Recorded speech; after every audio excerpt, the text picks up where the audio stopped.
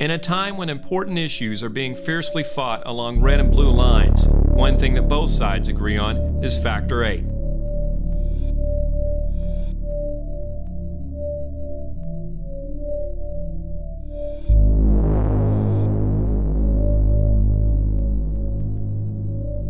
Yeah, whether you had a disease or whether you was HIV positive or whether you was uh, hepatitis B positive, whatever nat- whatever nature was, you could bleed, as long as you had the money to pay for it. Thousands of people worldwide have been infected with AIDS and hepatitis C from tainted blood.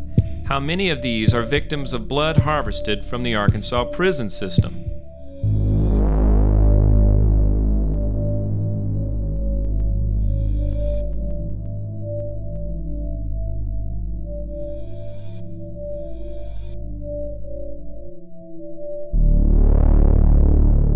You know, you'd have to be living in a box not to know that this is blood that you don't really want to use to, to give to people.